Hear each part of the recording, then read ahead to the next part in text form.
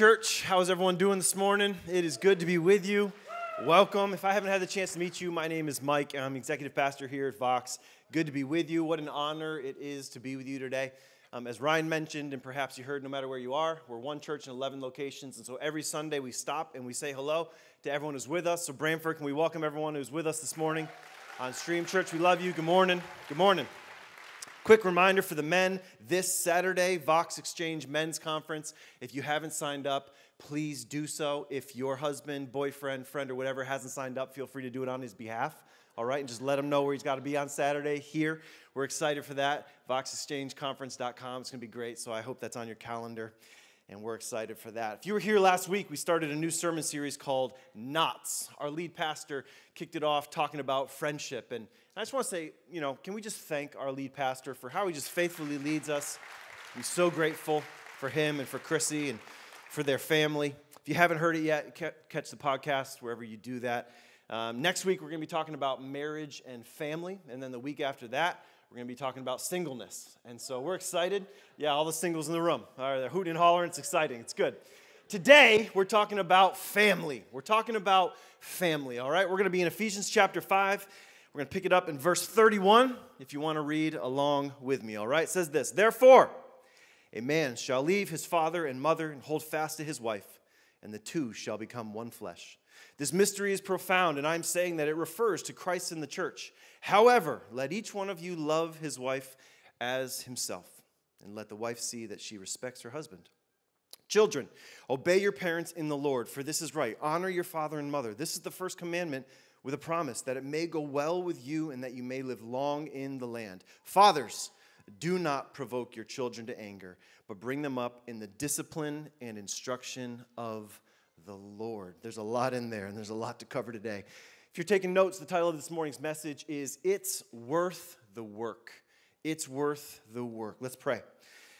So, God in heaven, as we tackle family this morning, God, we know that there are so many different stories here, so many different uh, ways that we've been formed and think about this. And so, God, right now, we just invite your Holy Spirit to speak to our hearts as we open your word. God, I pray that we would leave changed, that you would speak directly to our hearts this morning. We thank you for who you are. We thank you for all that you've done. In your name we pray. Amen. Amen. Well, go ahead and pat yourself on the back this morning. You made it through another winter. All right? So well done. All right? I don't know. I, yeah. I don't know about you, but that first day when it's like 65 and it's sunny and you go outside and look at the sun and you're like, ah, happiness, there you are. Haven't seen you since November. Like, I'm pretty sure I'm depressed all winter long. You know, the weight of winter just seems to hang on us a little bit. Can anybody relate to that? Yeah, you know? And so spring's here. We're all a little bit happier, a little kinder. For us, we, we love at our house, just love working in the yard. And so for me, that's getting the, the lawn going and the grass planted. And, and my wife is, is working on the flowers and planting vegetables. And, and if you've ever tried to plant vegetables, you know, I found it's an enormous amount of work for one salad come September. You know, it's like, oh my goodness. You know, it's like all the sun and, and all you gotta get the water just right, and, and then you gotta plant them in the right kind of soil, you know. And, and there's cer- certain vegetables, if you know, that they actually need more than just planting. You can't just plant them in a pot. No, no, no, no, no. If you do that, then they're gonna grow sideways instead of vertically. And so some plants need a trellis. Maybe you've seen a trellis. It looks something like this. And so you can't just plant your vegetables in the, in the pot. No, no, no, no, no. You got to plant something around it called like a trellis, which gives it a frame to grow on. So maybe take cucumbers, for example. You can take cucumbers like I would have, and you can just throw them in a pot, water them, give them all the sun you want. But the problem is they're going to grow sideways. And as they grow sideways, the fruit or the vegetable, whichever it is that you consider a cucumber to be, all right? Technically, it's a fruit, which I think is just sacrilegious. Okay, cucumbers are vegetables. But if you plant those in a plot, they begin in a pot, they begin to go sideways, and the, and the fruit or the vegetable, it, it ends up on the ground and it begins to rot. And, and it doesn't grow healthy. But if you give it a frame or a trellis to grow on, it actually grows vertically. It helps keep the disease at bay. It, it helps the, the fruit that you've worked so hard to grow actually be easier to harvest. Now, why are we talking about cucumbers at church on this Sunday, April 14th, as we talk about family? You see, just like I didn't understand that there were certain vegetables like cucumbers and tomatoes that needed a frame to grow on as if we wanted them to grow healthy, many of us don't understand that families are the same way. That God has put in place a trellis, a frame that families are meant to grow on in order so that they can grow vertically and grow healthy. That if you will, build it in the way that God has asked you to, it'll keep things in your home from rotting. It'll keep the fruit that you've been working so hard easier to harvest and enjoy. That there's actually a purpose and a plan behind God's vision for marriage that many of us don't even realize are there. Some of us, we, we just jumped into a family. Maybe you fell in love, you got married, you had a kid, and you haven't really given a whole thought, whole lot of thought or intention to it. You find yourself six years into marriage and things are harder than you ever thought they'd be. And you're asking yourself, could this ever be good? Could this ever be healthy? Maybe you're here and, and everything looks good on the outside. Maybe you go to community group and praise the Lord, and bless them. You come here on Sunday, how are you? I'm just blessed. But everyone knows in your family that that's the farthest thing from the truth, that behind closed doors, things are actually sick on the inside and broken. And there's a lot of dysfunction and you're wondering like do i need to just repot this family plant and start over with someone new? Maybe you're here and you were so excited to become a parent. And now he's six years old or 16 and you always promised yourself you wouldn't be the dad who yells but you keep losing your temper over and over again, and you see the look on your child's face of fear. They look at you and they're scared, and it breaks your heart, and you just feel like you're coming up short over and over as a mom or a dad. I know what that feels like personally. You know, I can often feel like I'm just not doing a good enough job. Maybe you can relate. You feel like I'm not investing enough time in my family. I'm not discipling my kids well enough. I'm not loving my wife well enough. I'm far too distracted. I don't give them enough time on and on and on. And even on my best days, it can feel like I'm just a tired, impatient, guilt ridden dad whose deepest hope is that Jesus loves my family more than I do and that his grace is sufficient in my weakness. And the more I talk to people, the more I realize so many families feel just like this that we're just holding on for dear life, that things are more challenging than we ever expected they could be, that parents feel like they're trying their best, but they're falling short. Today, we're going to look at three things as it pertains to family God's purpose for the family, God's plan for the family, and then God's power for the family. And I'll share some about how this plays out in the Schnepp household, but I also know that no two families look alike. That there are some families here in which both parents are at home, some families here have just one parent at home. Some families here have no kids, some have six, and God bless you. We have two, and I don't know how you have more.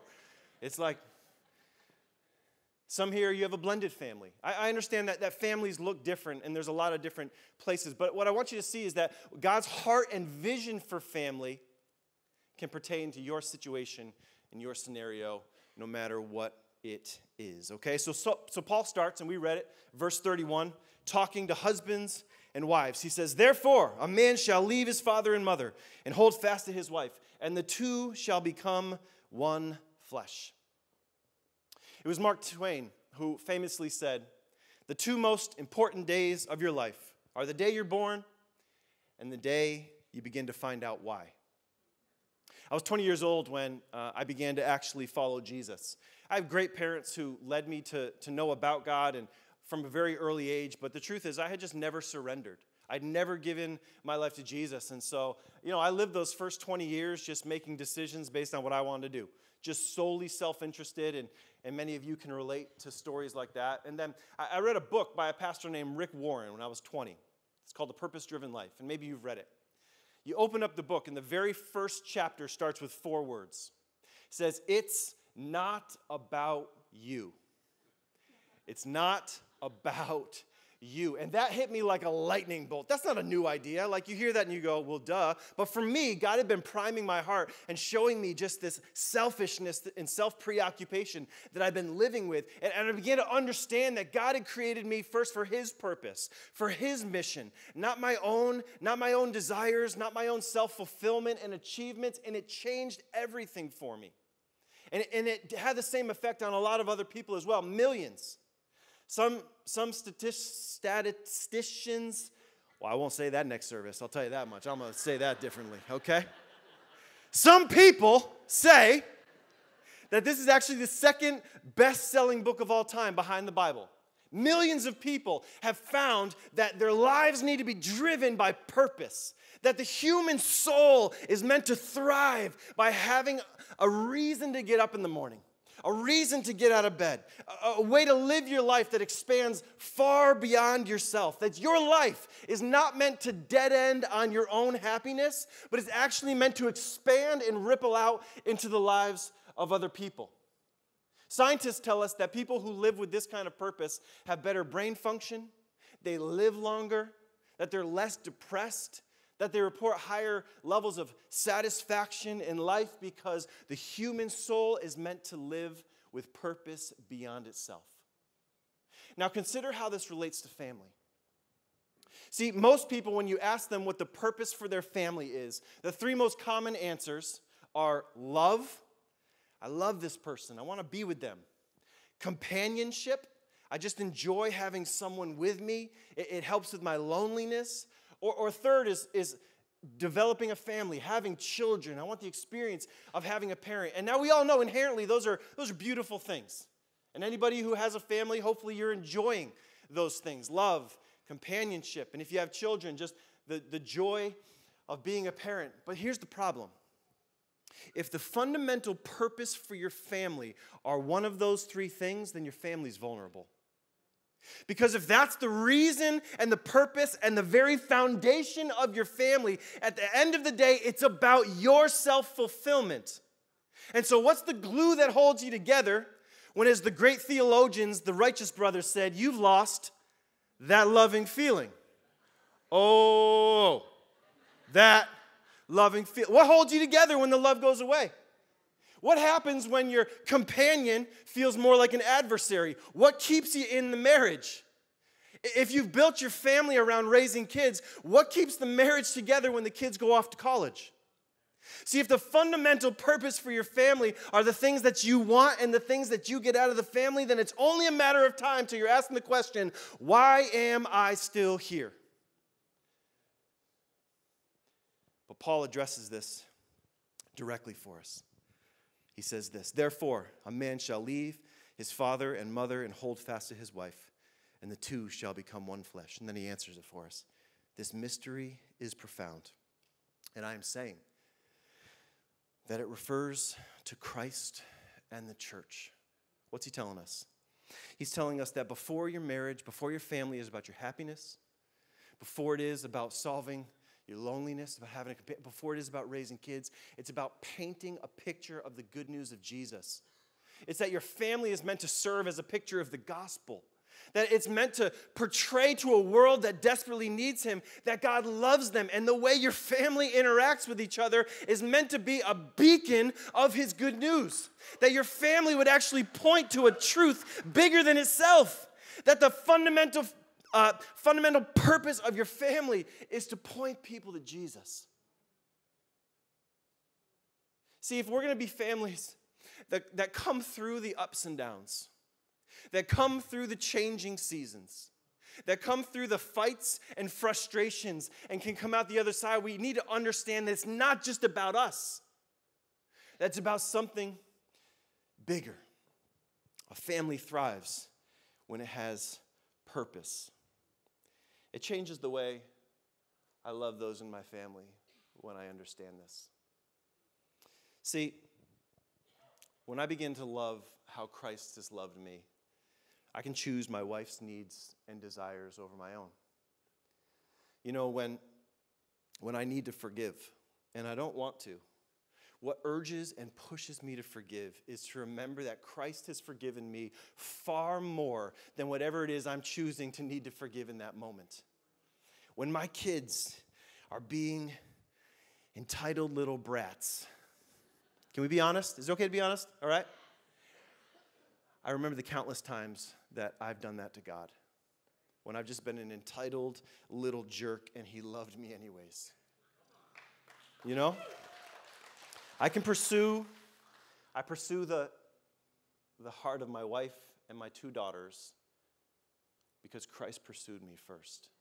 And it changes everything inside my family. I love how Justin Earley, the author, writes this. He says, The most Christian way to think about our households is that they are little schools of love, places where we have one vocation, one calling, to form all who live here into lovers of God and neighbor. We talk about purpose. Talk about purpose. What's the first purpose of a husband and a wife? It's to sacrificially love one another as Christ has loved us. What is the first goal that a parent should have? Is to teach your kids to love God and to share his love with others. How do we do this in our home? A couple practical things. First, we prioritize the pursuit of Jesus personally. All right, the greatest gift I believe I can give my family is a passionate pursuit of Jesus. And so we prioritize that first as individuals, but then as a family, we prioritize being at church together.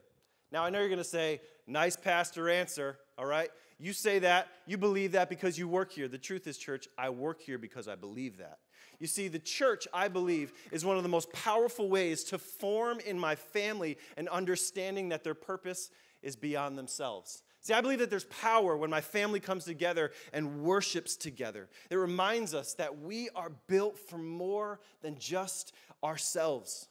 We come every week because I'm pretty sure, to my best knowledge, in my girls' classes and on the lacrosse teams that they play on, they are the only Christian. And so we come to church on Sunday so they can other, interact with other kids their age who love Jesus, so they can see that their faith isn't foreign that there are people just like them who love Jesus, that it's not strange to love Jesus. I want them to understand that. In a world, listen, if our society really is 2% lovers of Jesus, 2%, that means that most of the time my kids are around people who don't share their values. But in church, they come, they realize, man, I'm not alone in this. I'm not alone in this fight. Brittany and I pr- prioritize giving to the mission of God here because we remind our hearts that earthly comforts is not the end goal.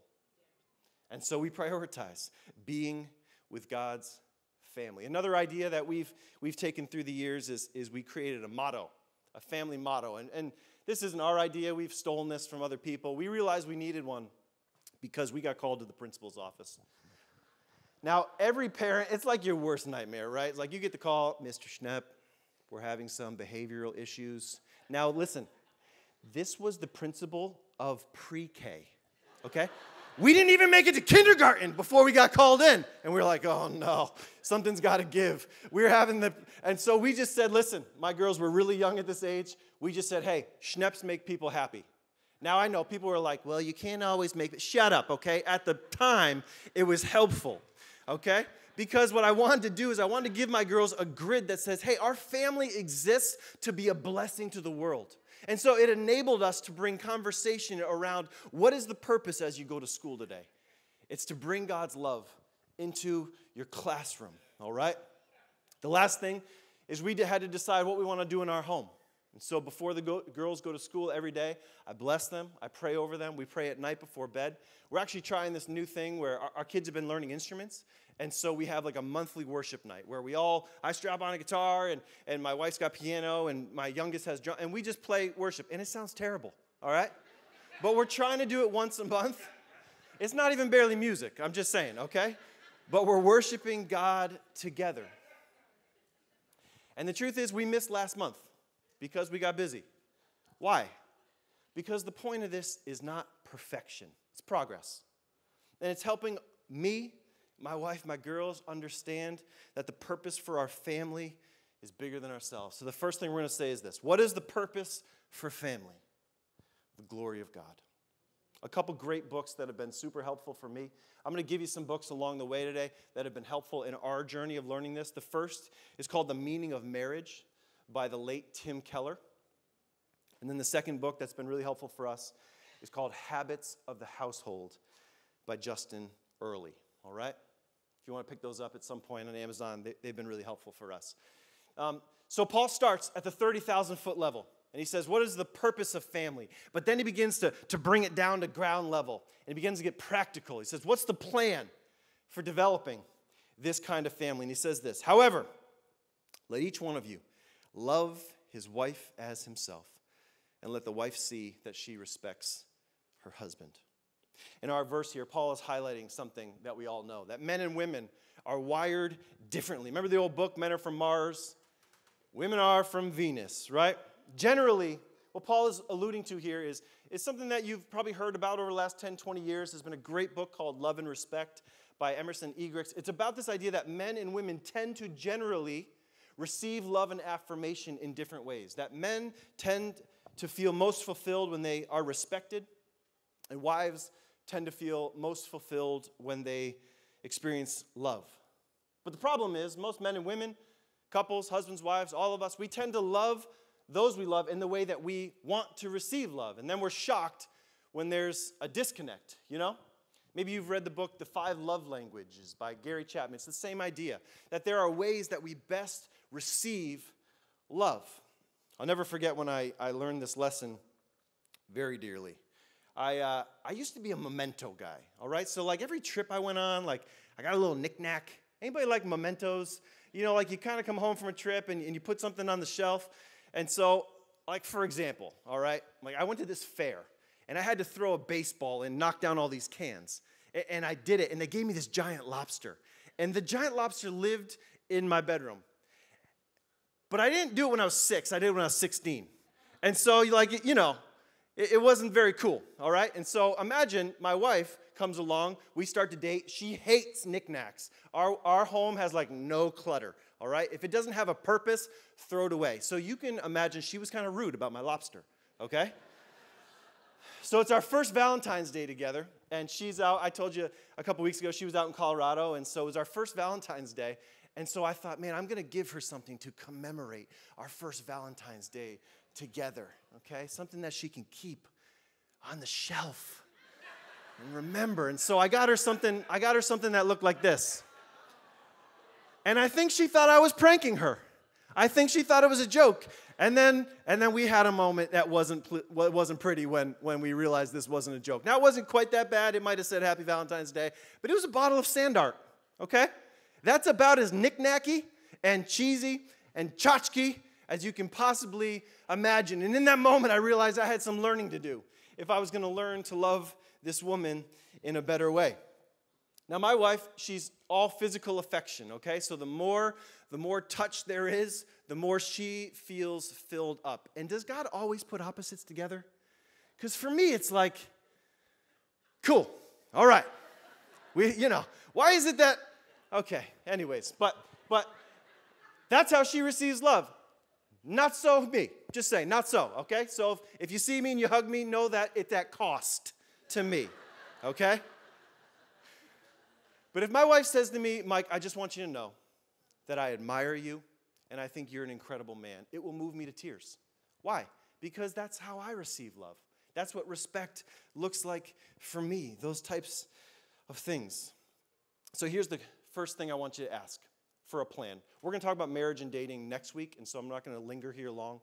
But do you have an intentional plan to love your spouse the way he or she wants to be loved? Do you have an intentional plan to love your kids the way that they want to be loved? This is the first part of what is a three part plan that he has, that, that Paul gives us here, is that you need a plan to love your spouse. I mentioned these two books, again, two that are going to be very helpful for you in your journey. The first is The Five Love Languages by Gary Chapman or Emerson Eggerichs' Love and Respect. Both of these have transformed my wife and I's relationship. And so pick those up if you want to learn and watch what happens. It will, it will transform your family. All right, let's keep going. Verse 4 Fathers, do not provoke your children to anger. You know, no one comes into your family as a blank slate.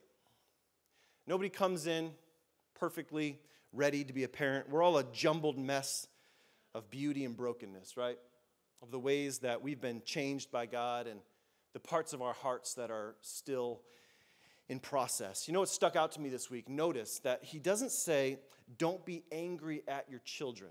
Like, if I read that, I would, I, that's what I would expect him to say. Fathers, don't be angry at your children. He says, don't provoke them to anger. See, what's he driving at here? He wants us to see that our actions have direct impact on our kids. That the way you love them, the way you raise them, actually affects who they become. Now, I've never met a parent who had like a pregnancy announcement and was like, I just can't wait to meet this kid and start to screw them up.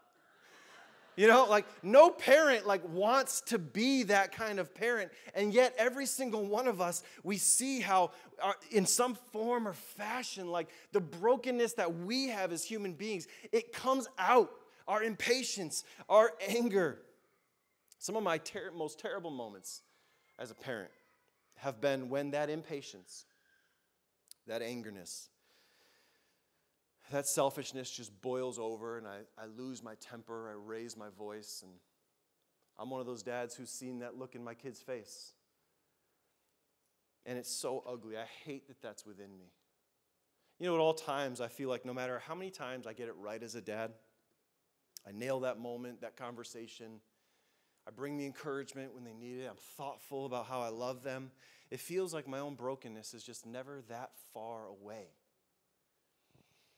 You know, I know that some of us, though, you know, we're just passing on what we learned from the families we grew up in.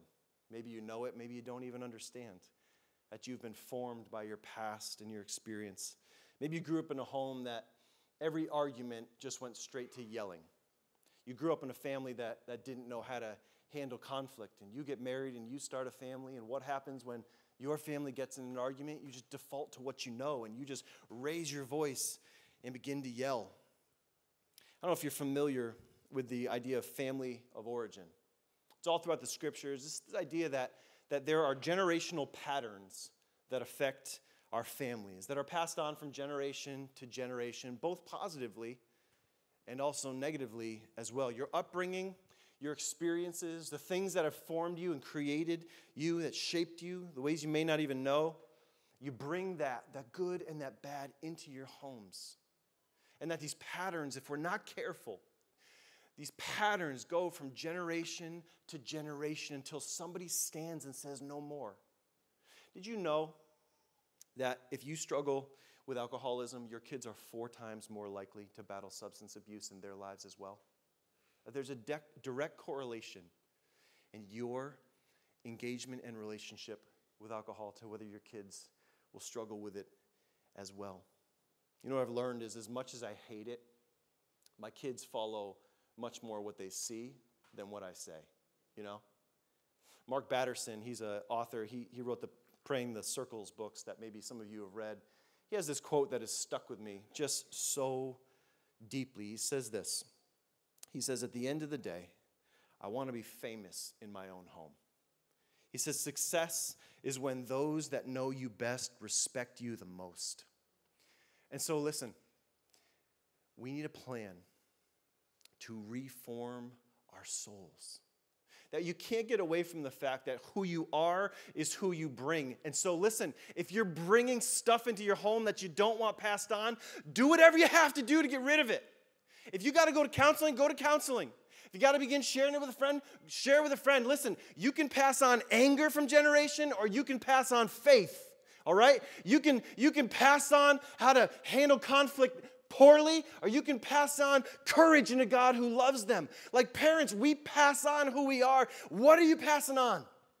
And so, if you're seeing things come out of you that are ugly, do whatever it takes to begin uprooting that so you can bring your best every day and you can pass on a soul that has been reformed and is healthy and is good.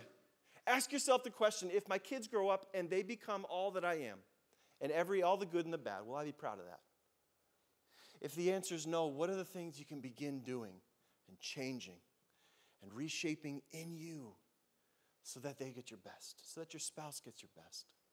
So, this is part two. If the first part of the plan is that you need a plan to love your spouse, the second part of the plan is that you need a plan to reform your soul. And then there's a third part. He says this But bring them up in the discipline and instruction of the Lord. This one's pretty simple.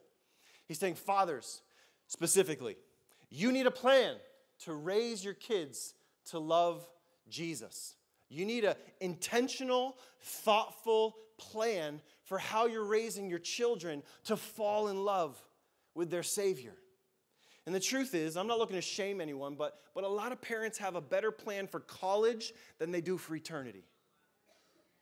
Francis Chan says it like this Pastor, maybe you've heard him. He says, I am working to ensure that my family is set up for the future. When most people make that statement, they're talking about financial security for their last few years on earth. When I say it, I'm referring to the millions of years that come after that. That's so good. You know, I think sometimes as parents, we forget that our kids are being formed every single day. Society, TV, friends, mentors, teachers, they are being told in a ton of different ways what they should think about God, what they should think about us as parents, what they should think about faith, what they should think about individuality, what they should think about sexuality. Parents, what is our plan to combat that? What is our plan to push back on the formation that is happening every day? Listen, we don't live in fear, but we also don't live naively. Remember what the Apostle Peter said in the book First Peter. He says, Stay alert, watch out for your great enemy, the devil. He prowls around like a, lo- a roaring lion looking for someone to devour. Stand firm against him and be strong in your faith.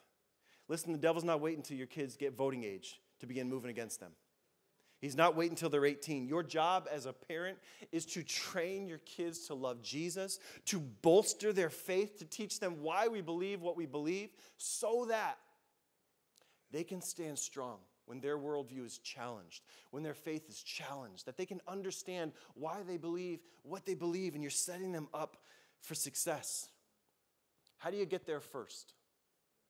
For example, for us, our, our oldest is in fourth grade. And so our daughters are nine and six. And so some of you have heard everything I said, and, and you're just saying, wait till you have teenagers. Okay, I hear that, all right? But it's what I have.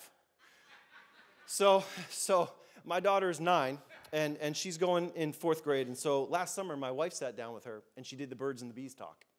And uh, it has led to some hilarious conversations in, in the days after that. And at first, it seemed like she was just so young. But the more we talked to people, the more they said, like, that age of when kids are finding out is becoming younger and younger and younger. And we wanted to get there first. We wanted to shape the narrative around sexuality instead of correcting the narrative that she hears on the bus. And so our plan was to do everything we could to get there before anyone else did. Parents, God is calling you to lead the spiritual development of your children to bring a plan, not to leave it to others. The church can be a part of it, but don't entrust it totally to the church. Take ownership. So many of us are reacting instead of initiating. What would it look like for you to begin to initiating the preparation of your kids for all that the world will challenge and throw at them? And so this is the third piece of planning. If the first was a plan to love your spouse well, the second was a plan to reform your soul. The third is this you need a plan to lead your kids. Again, book, the one that's been really helpful for us, just as an aside, Family Discipleship. It's right there by Matt Chandler. Parents, if you're feeling like this is an area that you want to grow in, this book has been really helpful. Now, there's books on there's so much out there, but this one for us, it came out about five years ago, has been really, really helpful. Now, I want you to see that, that as we create a plan, we need all three facets. I, I want you to see how they interrelate together. So you've got, you've got a plan for, for three different things at the same time. You guys can go ahead and throw that diagram up. Okay, so, so plan one is we, we need to plan to love our spouse well. And we talked about reforming our soul and leading your kids. And this is why you need all three, because listen, if I if I have learned to love my spouse well, and I've learned I've got a plan for my kids, but I erupt in anger once a month. It's going to be hard for me to have a healthy home. It's going to be hard for my kids to understand who God is in a healthy way. If I've, if I've learned to lead them well and I've, I've done the hard work of changing who I am, but I don't love my spouse well, then the moment my kids are out of the house, my marriage has nothing to stand on and no reason to exist. If I've, if I've loved my spouse well, and I've done the hard work of my own soul, but I don't have a plan for my kids. I'm just leaving them to, to anyone else to form them. It's a terrible plan. And the goal is not perfect kids, all right? The goal is not a perfect marriage. The goal, when you put all three together, is a healthy family. That's the goal. It's not perfect. Listen, you're gonna screw up regularly. The amount of times I've had to apologize to my own children, to my spouse, still shocks me. All right? I was I was preparing this sermon and Brittany came in and tried talking to me, and I was short with her because I was like, "Excuse me, I'm preparing a family, uh, a message on healthy family. Can you leave me alone, please?" Kid you not, that was uh, yesterday. Okay, so the point is not perfection. You will never get this right. But what would it look like if you actually brought a plan into it? So, what we do, just again, practically in the Schnepp home, we, uh, every January, my wife and I make a plan for the year. And so we set relationship goals for us. Some things like that are we're going to go out once a month on a date. It's not revolutionary. We're going to get away for an extended time without our kids once a year. And so we're going to we're going to do those things and a number of other ones. Then we've got a plan for each of our kids. So our oldest who's 9, like this year, we actually we're going to send her away to a Christian sleepaway camp for the first time. It's going to push her in her independence, going to help her grow. But I also want her to surround her with counselors who are 15, 16, 17, who she's going to think are really cool and are going to tell her how much they love Jesus because I want her to see from an early age that it's not uncool to love Jesus. We're going to watch as a family, we're going to watch the Chosen series together. Why? Just because I want to begin giving them a picture of who Jesus is. Now, what are these things? Are they the silver bullet? Are they going to guarantee a family that loves? No, they're not. But they're all part of the process. You know? I've got a friend that I meet with once a month, and we hold each other accountable. We share these goals with one another. And it helps me remember because when I know that next week I'm meeting with my buddy, I'm a little bit more thoughtful about making sure I'm doing this. Because without it, I slide back into apathy, into laziness. You get busy, you forget about these things.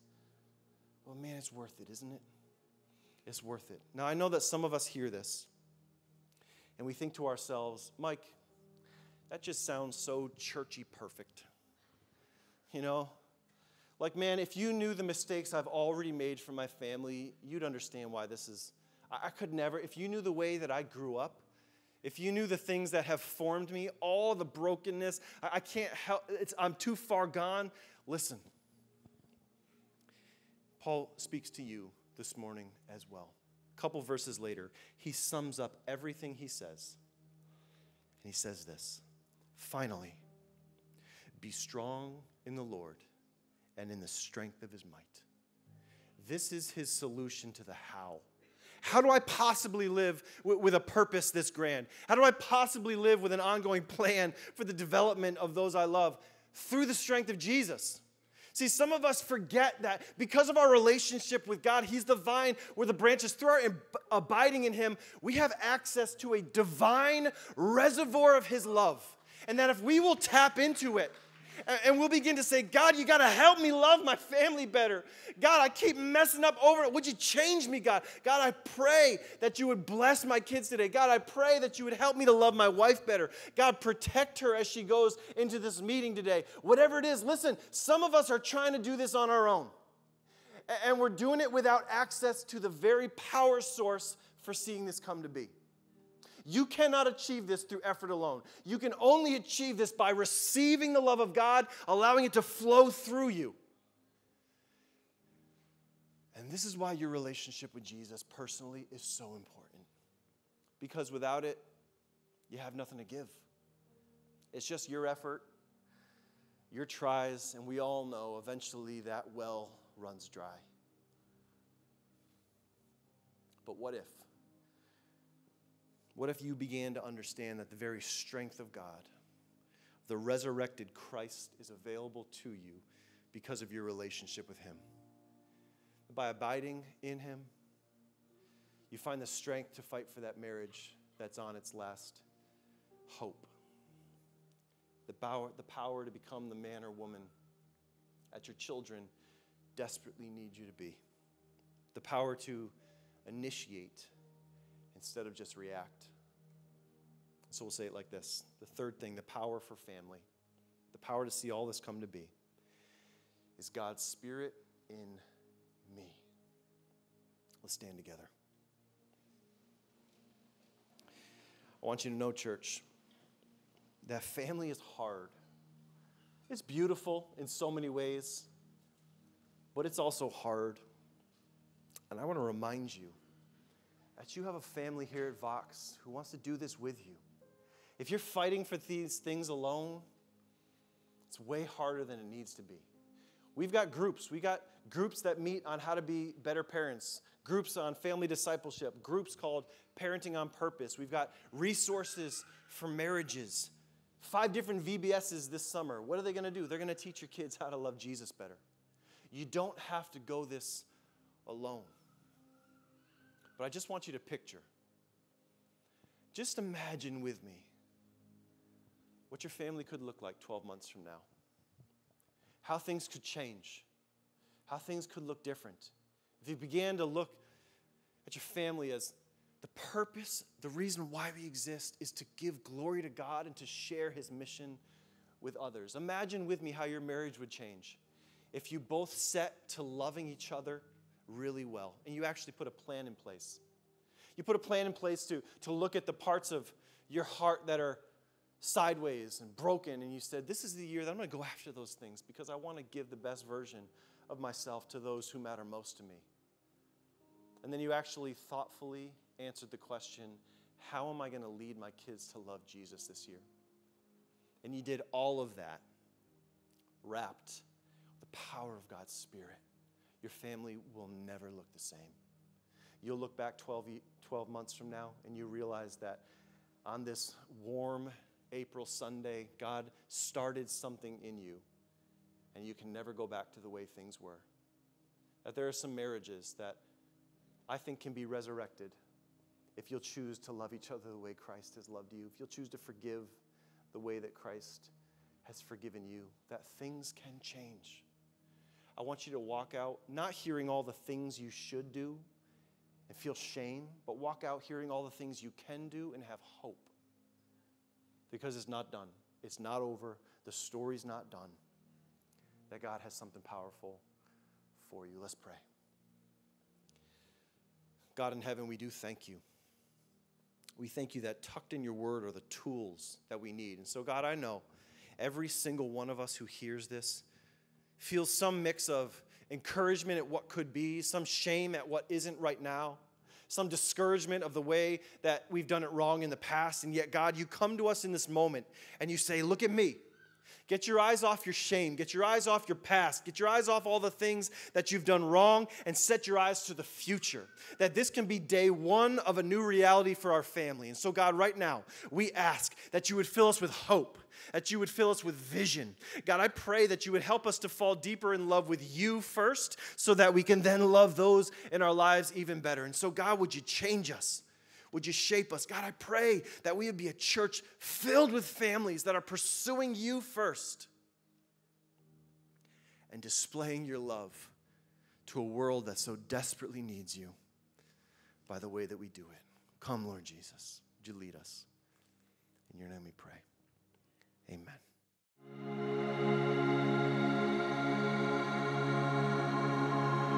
Amen.